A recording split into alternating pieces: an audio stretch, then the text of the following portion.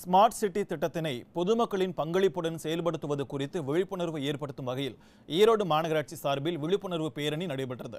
ஈரோட்டில் smart city திட்டத்தை செயல்படுத்துவதில் மக்களுக்கு உள்ள இடையூறுகள் பிரச்சனைகள் மற்றும் கோரிக்கைகள் குறித்து மாநகராட்சிக்கு தெரியப்படுத்த புதிதாக செயலி ஒன்று அறிமுகப்படுத்தப்பட்டுள்ளது.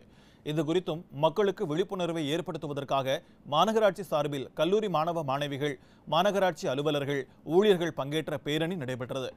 மாநகராட்சி வளாகத்தில் தொடங்கிய இந்த பேரணியை மாவட்ட ஆட்சியர் கதிரவன் கொடியசைத்து துவக்கி வைத்தார்.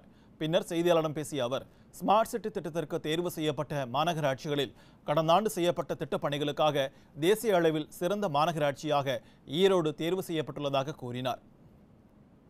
ரெண்டாயிரத்தி பதினெட்டாம் ஆண்டில் தேர்ந்தெடுக்கப்பட்ட அனைத்து மா- இந்தியாவில் உள்ள அனைத்து மாநகராட்சிகளில் நம்முடைய ஈரோடு மாநகராட்சி சிறப்பாக செயல்புரிந்து அனைத்து திட்டங்களையும் அதிக விரைவில் செயல்படுத்துவதற்காக சிறந்த மாநாட்சியாக தேசிய அளவு விருது பெற்றுள்ளது.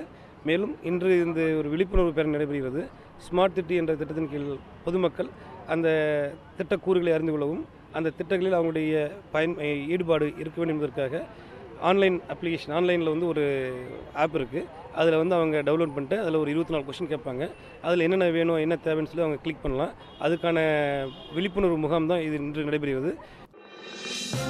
இது போன்ற முக்கிய வீடியோக்களை உடனுக்குடன் தெரிந்து கொள்ள நியூஸ் ஜே யூடியூப் சேனலை சப்ஸ்கிரைப் செய்யுங்கள்.